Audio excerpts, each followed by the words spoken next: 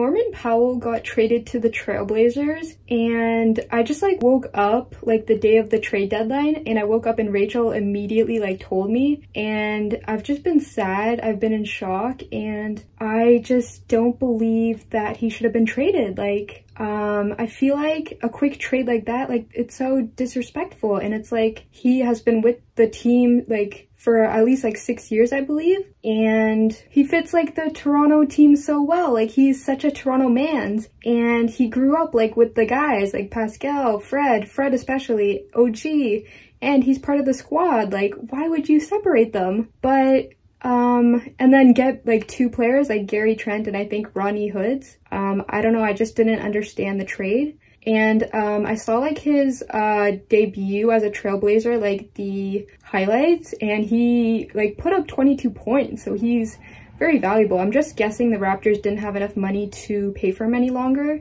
And yeah, like recently he's been doing super well. Like when the uh, health and safety protocols were going on, he put up like 20 plus points. Like he was doing amazing. I just don't understand the trade. But yeah, today um, is Sunday and they're facing the Trailblazers for the first time since the trade. And we're going to see Norman Powell again. So I'm rocking my Understand the Grind gear.